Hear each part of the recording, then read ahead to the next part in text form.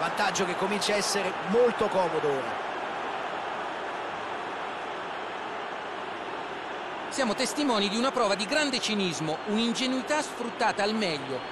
Perdere palla a centrocampo è molto rischioso. Se sbagli un passaggio così, l'errore ti può costare molto caro.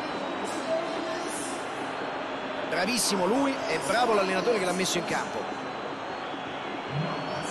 Effettivamente ha ripagato il mister della fiducia che gli ha dato mandandolo in campo.